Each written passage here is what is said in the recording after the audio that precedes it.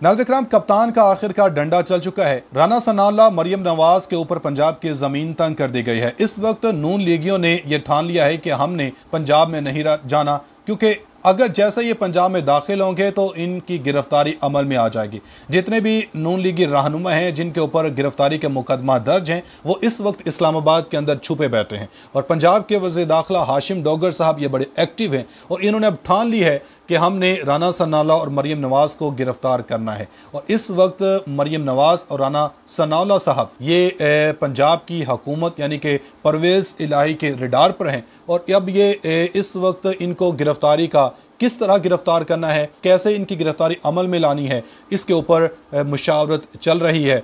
और वहीं पर नाजन कराम मरीम नवाज़ को पार्टी के सीनियर क्यादत की जन्म से, नवाज़ शरीफ की जन्म से ये मशवरे दिए जा रहे हैं कि आप फौरी तौर पर पंजाब को छोड़ दें और इस्लामाबाद मुंतकिल हो जाए। जैसे मुस्लिम लीग नून के जो दीगर रहनुमा हैं, जिनके ऊपर मुकदमा दर्ज हैं, वो इस्लामाबाद के अंदर छुपे हुए हैं और आप भी, आपके लिए भी यही बेहतर है कि आप पंजाब को छोड़कर फौरी तौर पर इस्लामाबाद चले जाएँ। और जो तीसरी अहम खबर हम डिस्कस करेंगे कि इस वक्त इमरान खान को इस इम्पोर्टेड हुकूमत के लिए रोकना कंट्रोल करना नामुमकिन हो चुका है। और हालात अब इस वक्त मुल्क के ऐसे डगर पर चल पड़े हैं कि अहम इजलास अहम कॉन्फ्रेंसेस इस इम्पोर्टेड हुकूमत को बुलानी पड़ चुकी है। और ये तमाम तर डेवलपमेंट्स हैं क्या? इसके ऊपर आज के इस वीडियो में बात करेंगे। आपसे गुजारिश है कि वीडियो को एंड तक लाजमी देखें, ताकि तमाम अपडेट्स आप आसानी से जान सकें। नज़र कराम पंजाब के अंदर इस वक्त जैसे मैंने बताया कि राना सनाला और मरियम नवाज़ की ज़मीन तंग कर दी गई है और इनकी गिरफ्तारी के हवाले से अब प्लानिंग्स और मुशावरत जारी है। इसके ऊपर बात करने से पहले आपको थोड़ा सा ये बताता चलूँ कि इस वक्त एक जानब तो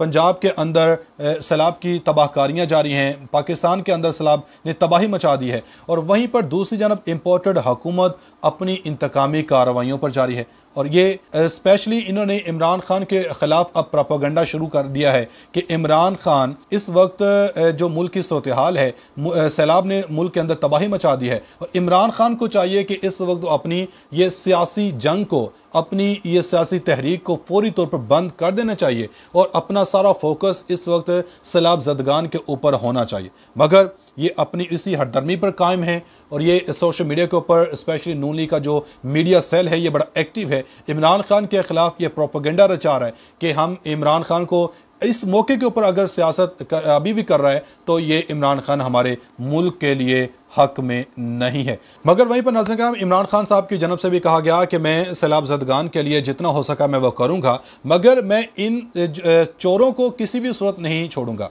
और इमरान खान की जानब से फ़ंड रेजिंग के लिए एक टेलीथॉन कॉन्फ्रेंस भी रखी गई है, और इसमें इमरान खान इंटरनेशनल मीडिया और इंटरनेशनल जो तंजीमें हैं या इंटरनेशनल जो इमरान खान के बैरूनी ममालिक में रबते हैं ओवरसीज़ हैं, इन तमाम से फ़ंड रेज़ किया जाएगा स्पेशली सैलाब जदगान के लिए। तो इमरान खान जितना हो सकता है, इन्होंने कहा है कि मैं अपनी तरफ़ से मदद करूँगा और ओवरसीज़ पाकिस्तानियों को भी कहूँगा कि वो सैलाब के मुतासिन के लिए फ़ंड्स दें और इनकी मदद करें। और जैसे ही आप देखिएगा कि इमरान खान ये टेलीथॉन शुरू करेंगे तो इसमें धड़ाधड़ लोग पैसा देंगे, क्योंकि इमरान खान के ऊपर लोग ट्रस्ट करते हैं और एक स्पेशली इमरान खान के कहने के ऊपर लोग पैसे की भरमार कर देंगे। तो अब चलते हैं उस खबर की जानब के जो राना सनाल्ला और मरियम नवाज़ के गिरद पंजाब का इस वक्त ज़मीन तंग हो चुकी है, पंजाब के अंदर रहना इनके लिए कितना अब मुहाल हो चुका है। स्पेशली आपको पता होगा कि हाशिम डोगर की जानब से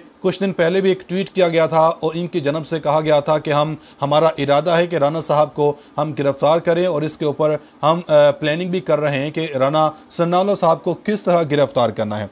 और अब पाकिस्तान तहरीक इंसाफ की रहनुमा, श्री मजादी साहिबा की जनब से इस हवाले से एक ख़बर आती है और कहते हैं कि राना सनाला के ऊपर हम मॉडल टाउन का वाक़ जो केस है, इसको दोबारा से खोल रहे हैं। और इस केस में हमने राना सनाला को पकड़ना है। राना सनाला इस केस में मुलविस थे, वो उस वक्त वजह दाखिला थे और ये केस जो जो दहशत गर्दी उस वक्त मॉडल टाउन के अंदर की गई, ये इनकी सरप्रस्ती में की गई है।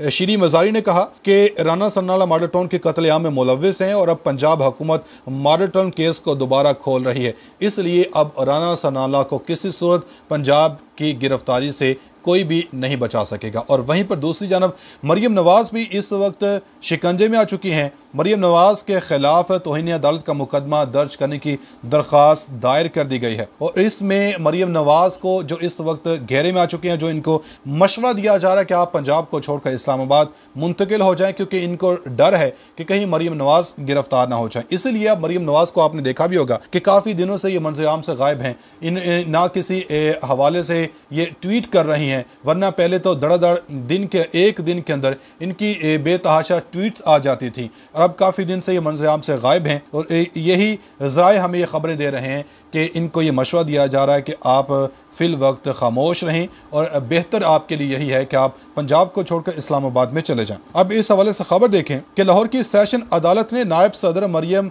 नवाज़ के खिलाफ सुप्रीम कोर्ट के जजों के खिलाफ तोहन अमेज ज़ुबान इस्तेमाल करने पर मुकदमा दर्ज करने की दरख्वास्त पर पुलिस को नोटिस जारी कर दिया है। डॉन अखबार की रिपोर्ट के मुताबिक मोहम्मद नवाज़ नामी शहरी ने एडवोकेट उमेर सईद भट्ट की तवसत से दरख्वास्त दायर की है, जिसमें यह दावा किया गया कि मुस्लिम लीग नून की रहनमा ने 25 और 28 जुलाई को अदलिया की तजही के लिए सुप्रीम कोर्ट के जजेस के खिलाफ प्रेस कॉन्फ्रेंसेस की हैं। अब आप अंदाज़ा लगाएँ कि किस तरह अब ये घेरे में आ चुके हैं और पंजाब की ज़मीन इनके ऊपर अब तंग आ चुकी है कि अब इनको यही ख़तरा है कि अगर हम पंजाब में रहेंगे तो हमारी गिरफ्तारी यकीनी हो जाएगी। इसीलिए अब जिस तरह पहले ही नून लीग के दीगर रहनुमा हैं, वो खौफ के मारे, डर के मारे पंजाब से भागे हुए हैं और अब मरीम नवाज़ को भी यही मशवरा दिया जाए और वहीं पर नाजर कराम दूसरी जानब इम्पोर्टेड हुकूमत इमरान खान के ऊपर तो ये इल्ज़ाम लगा रही है कि इमरान खान को इस सैलाब के आफत ज़दा मौके के ऊपर अपनी सियासत को, अपनी सियासी जंग को बंद करना चाहिए।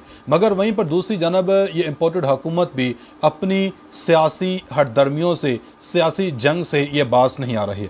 एक जानब तो ये सैलाब के रिलीफ के लिए आल पार्टी कॉन्फ्रेंस मुनद कर रहे हैं और वजी अजम शहबाज शरीफ की जनब से सैलाब की तबाहकारियों पर आल पार्टी कॉन्फ्रेंस बुलाई गई है और मंडे को ये तीन बजे कहा गया है कि ये आल पार्टी कॉन्फ्रेंस बुलाई जा रही है। और इस आल पार्टी कॉन्फ्रेंस इसका नाम रखा गया और इसमें जो पाकिस्तान तहरीक इंसाफ है, इसी पार्टी को ही इस कॉन्फ्रेंस के अंदर दावत नहीं दी गई है। आप देखें सैलाब इस वक्त पंजाब के अंदर आया हुआ है और के पी के अंदर इस वक्त सैलाब है और एक सिंध है। और पंजाब और के पी के अंदर इस वक्त पाकिस्तान तहरीक इंसाफ की हुकूमत है। यानी कि दो सूबों के अंदर पाकिस्तान तहरीक इंसाफ की हुकूमत है और जहाँ ये सैलाब बहुत ज़्यादा है, सैलाब की तबाहकारियाँ जारी हैं और उसी हुकूमत को आपने इस कॉन्फ्रेंस के अंदर नहीं बुलाया।